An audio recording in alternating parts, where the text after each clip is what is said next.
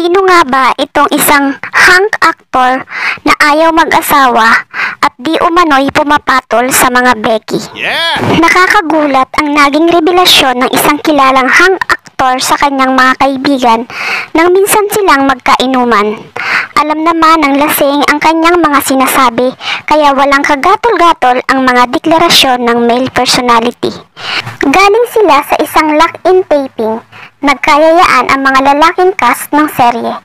Nagpunta sila sa condo unit ng isa nilang kaibigan para magbanlaw ng pagod sa pagtatrabaho.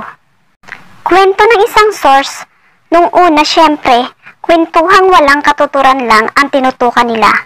Mga karanasan nila sa taping, ang mga natitipuhan nilang girls, at kung ano-ano lang. Ganun naman ang mga artista. Kapag nagkakasama-sama, nagpapalitan sila ng mga kwento. Kung saan-saan lang napupunta ang kwentuhan nila, pasakaliin ng isang source. Habang lumalalim ang gabi, ay nagiging emosyonal na sila. Meron ang napapaluha dahil sa kanyang mga problema ngayong pandemya. May nagrereklamo dahil maramot ang proyekto para sa kanya. Kakaiba naman si Tisoy. Wala siyang pakialam sa pandemya dahil napaghandaan na niya ang ganitong sitwasyon. Magaling siyang pumaraan at marami siyang racket. Hindi niya pinoproblema ang kakapusan ngayong pandemya. Pero nagulantang ang mga kaibigan niya sa kanyang revelasyon. Halos mawala ang kalasingan ng mga kaharap niya.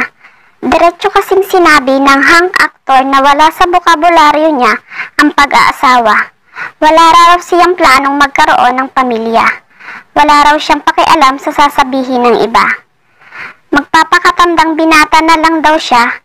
Pwede raw siyang makipagrelasyon pero burado sa utak niya ang pagpapakasal dahil magpapayaman na lang siya. Lahat daw ng trabaho ay kailangan niyang pasukin para makapag-ipon. Ayaw raw kasi niyang tumanda na walang pera. Nakakaawa raw ang mga tumatandang walang inaipon. At sinabi niya, yun daw ang dahilan kung bakit siya pumapatol sa mga Becky at Matrona.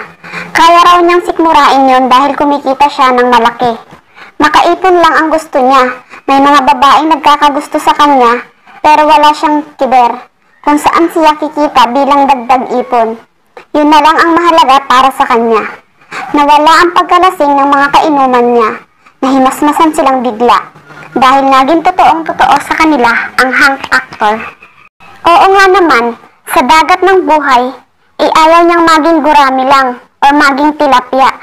Mas gusto niyang maging pating or balyena. Napailing na lang pagkatapos ang aming source. Kayo mga kachika, may alam ba kayo kung sino or hinala kung sino ang hang actor na ito?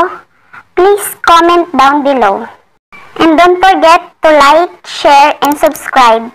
And hit na din po yung notification bell para lagi po kayong updated sa mga bago naming video mga kachika. And thank you for watching guys! Bye-bye! See you on my next one!